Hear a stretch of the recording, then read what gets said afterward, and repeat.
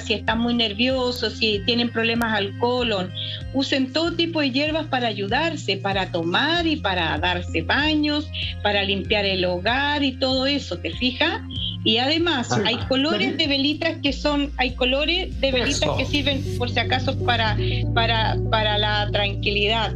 Entonces ahí, por ejemplo, tienen eh, el azul, te da, te da protección, te da protección, calma y todo. El azul, el, el celeste con el blanco, por ejemplo, puede ser solo celeste o solo blanco, eso te va a dar tranquilidad, calma va a traer la calma y la tranquilidad al hogar. ¿Te fijas? Y el morado, el morado, este va a limpiar cualquier energía negativa que exista en el hogar. Transmuta. trabaja la transmutación. Latife, porque mira, justo, mira, pasamos las velas y la pregunta que te voy a hacer aplica tanto a las velas como también a los baños. Porque yo he escuchado muchas veces, creo que a ti o a otras personas que nos han acompañado en el programa, que cuando uno prende una vela tiene que darle una intención. Tiene que tener un pensamiento respecto a lo que está haciendo. No solamente como que yo estoy en mi habitación y dejo la vela prendida y que la vela se le llama se le llama a propósito. Yo lo hago y le coloco un propósito. Perfecto. Y respecto a los propósitos, eh, cuando uno se da un baño con hierbas, eh, me imagino que es bueno tener cierto nivel de pensamiento. La mente tiende a divagar cuando uno se relaja y uno no sabe en qué recoveco puede entrar. Me imagino que hay que tener algún tipo de pensamiento especial y lo ligo a, lo ligo a las velas. Me imagino que tiene que ser un propósito similar. Uno tiene que hacer estas cosas pensando, teniendo algún pensamiento positivo, ¿no? Claro, tú eh, tienes que tener un pensamiento positivo, o sea, cuando tú te vas, tú vas a poner estas velitas y vas a poner la intención en ella y todo, tú la aprendes. Yo siempre he enseñado, que las velas no se prenden solas, que siempre hay que colocar un vaso de agua cerca, porque tienen que estar los cinco elementos. Tú eres el quinto elemento, pero tiene que estar el aire, el fuego, la tierra, eh, ¿cómo se llama? El agua. Entonces tienen que estar los cinco elementos. Entonces, un vasito de agua es súper importante que exista. Tú cuando prendes la velita, tú colocas la vela, por ejemplo, en un platito, tú enciendes con madera, o sea, con fósforo, no se encienden con encendedor ni otra cosa, se encienden con madera, con un palito de fósforo, ¿ya? Tú la prendes y tú de inmediato le pones el propósito. Esta vela la prendo para que la luz divina ilumine mi hogar y dé tranquilidad a mí a mi ser, a mi cuerpo, a mi mente y a todos los integrantes de esta familia. Entonces tú los puedes nombrar, eh, si los quieres nombrar, o con decir integrantes de la familia, tú dejas efectivamente que eso funcione así, porque ya los nombraste a todos, a todos los integrantes de la familia, incluyendo a nuestros seres queridos, los hermanitos menores que son las mascotas o las mismas plantas. O sea, estás eh, dando una bendición y, y, pidiendo iluminación divina desde el universo para que llegue al hogar, a tu hogar, y que dé la calma y la tranquilidad que ustedes necesitan protección, iluminación, te fijas, y limpieza, porque también puedes querer limpiar el hogar. El hogar puede estar cargado de energías negativas. Hay formas de saber también cuando los hogares están sucios. Oye, a propósito de eso, Latife, ya, supongamos que una persona dice, ¿sabéis que oh, estoy muy alterado, necesito tranquilidad? Voy eh, por la vela azul, por ejemplo, ¿cierto? No. Eh, entonces, ¿qué es lo que pasa? Eh, de repente digo, mm, mejor hago otra cosa primero. Prendo una vela de otras características, por ejemplo la violeta, y una vez que esté limpio, es como que uno pasa la escoba primero y después pinta, por, decirlo algo. Entonces, es mejor hacer una secuencia para así como limpio primero, descargo después y ahora pido. O sea, primero evacúo lo malo y ahora hago la solicitud de lo que quiero que se reincorpore en mi hogar, por ejemplo. Claro, exactamente. Es muy bueno tener un orden, una limpieza total. También tratar de ordenar un poquito el hogar, porque cuando muchas veces el hogar está muy desordenado es porque hay mucha energía revuelta ahí. O sea, hay muchas personas que pueden tener todo desordenado y no saben, dicen, ¿cómo esto se desordena tanto? Pero las emociones de las personas muchas veces provocan que exista demasiado desorden en un hogar. Entonces, tratar de ordenar un poquito, claro, hacer una limpieza, como dices tú, barrer un poquito, aspirar, no sé, un poquito todo eso. Después, eh, prender la velita, quemar lo que hay que quemar, todas las hierbitas que yo decía, y después darse el baño de inmersión. ¿Te fijas? O el baño de descarga o el baño relajante, como tú quieras. Eh, tratar de hacer ese orden para lograr salir de ese estancamiento de negatividad o tensión o, o estados emocionales que hay en la casa, cuando hay mucha pelea, por ejemplo. Hay mucha discusión. Hay gente que está discutiendo mucho en una casa. Pero, perdón, dijiste, perdón, Juan Andrés, muy cortito, es que algo que dijo anteriormente, dijo, cuando estaba hablando de las velas, dijiste que no se podía dar cuenta cuando el hogar está sucio.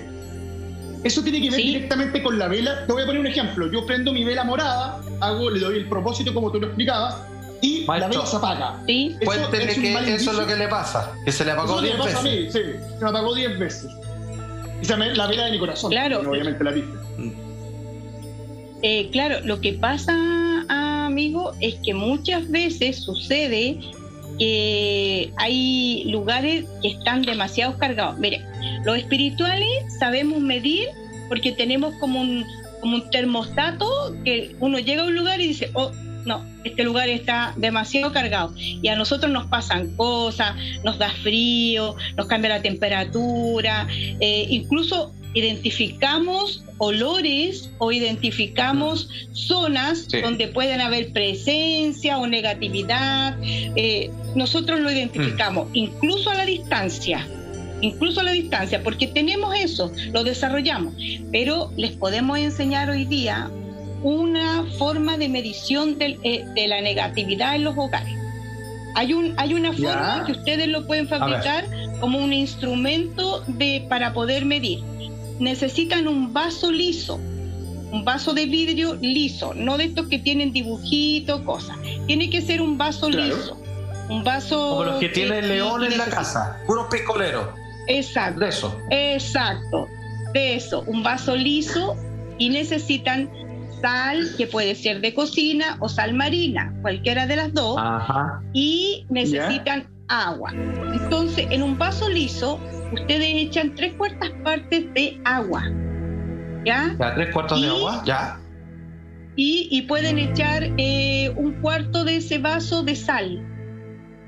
De sal, perfecto. ¿Ya? Perfecto. Un cuarto de vaso de sal. Y ese, ese vaso ustedes lo tienen que dejar en una parte donde existan, eh, donde estén más todas las personas del hogar.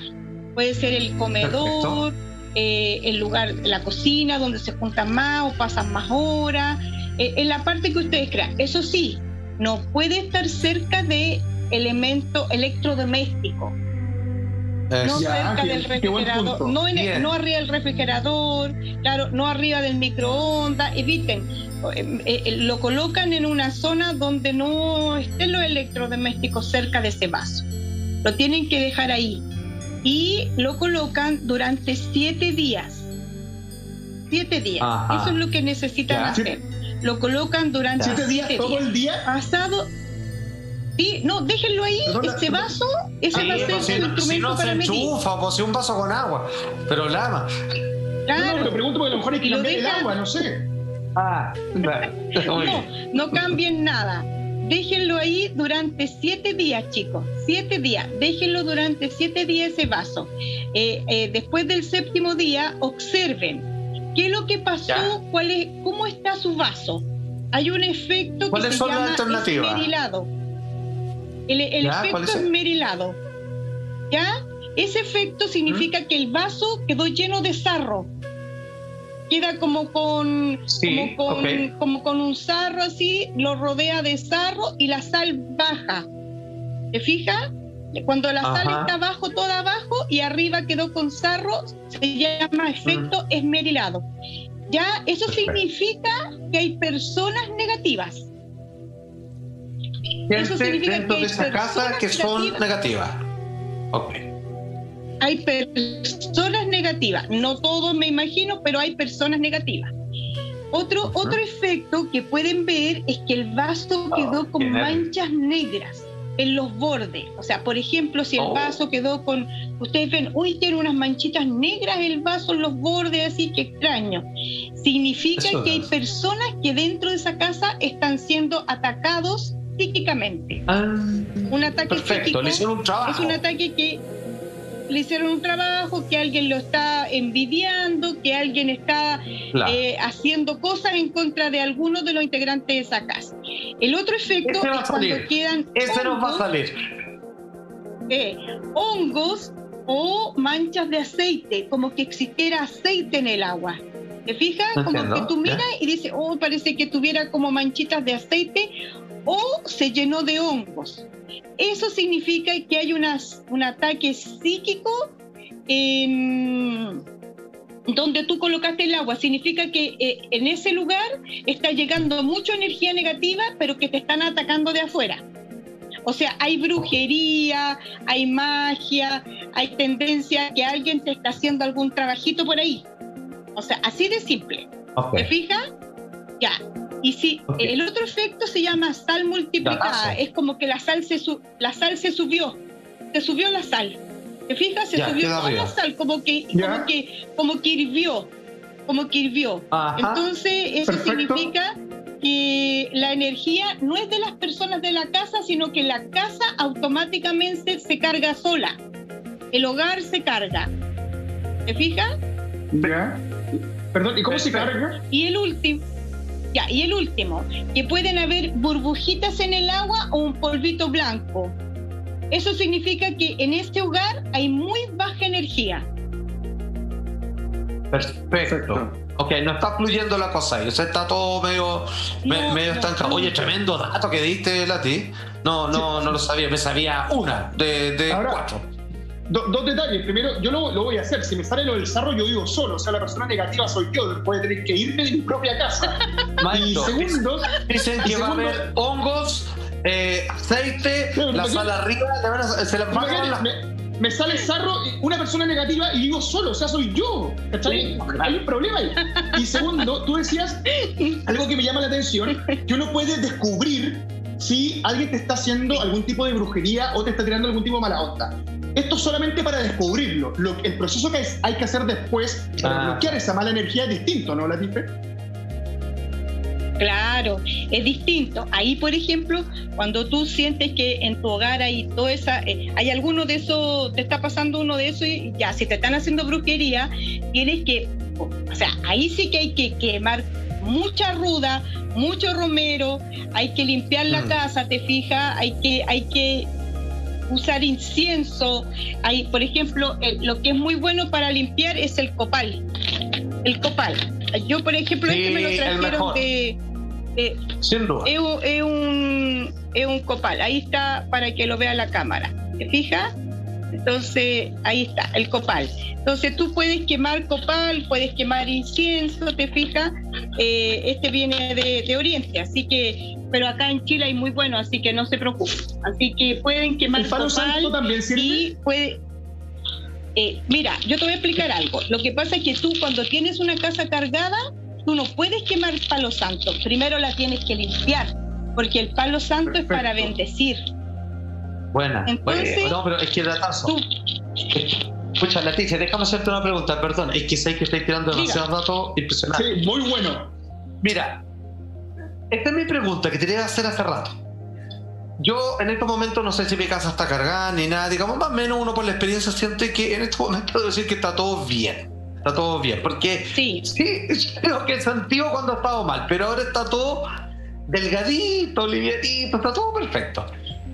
Si alguien cree que, oh, chuta, no estoy tan seguro si soy yo en la casa con quien vivo, ¿se podría entrar a picar de frentón para no esperar los siete días y hacer un clásico, que los amo, un clásico old school saumerio? Y agarro ruda, agarro copal, agarro y, y- me pongo a saumerear la casa con pica en todas las esquinas y vamos pasando el humito por todas partes y fuera todos los bicharracos. Exacto. Así se hace.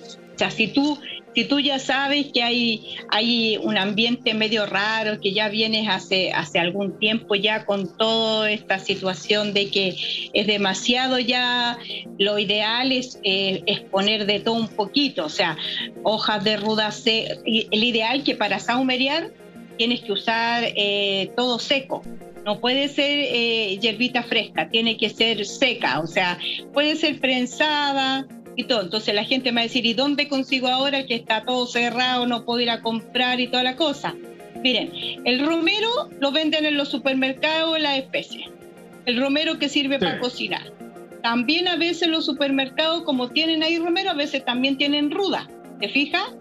Entonces, echar un poquito de, de, ruda. Mira, ruda, romero, un poquito de... hay un dato súper bueno que echas una cucharada de café. El café es un potente producto para descargar. En polvo, un café en polvo lo echas eh, junto con la ruda, eh, echas ruda, echas romero, o, cucharadita de, una cucharadita de café. Y ahí vamos quemando.